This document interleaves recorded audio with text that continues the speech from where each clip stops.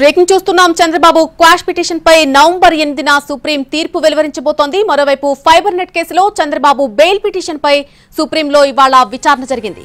ఈ కేసులో bail petition పై విచారణ నవంబర్ తొమ్మిదికి వాయిదా వేసింది కోర్టు. మరోవైపు చంద్రబాబు లీగల్ ములాఖాత్ పెంపు పిటిషన్ను ఏసీబీ కోర్టు తిరస్కరించింది. వివిధ కోర్టుల్లో కేసులు విచారణ ఉన్నందున రోజుకు మూడు సార్లు ములాఖాత్ పెంచాలని పిటిషన్ వేశారు. ప్రతివాదుల పేర్లు చేర్చకపోవడంతో ఇప్పుడు విచారణ అవసరం లేదని పిటిషన్ తిరస్కరించారు న్యాయమూర్తి.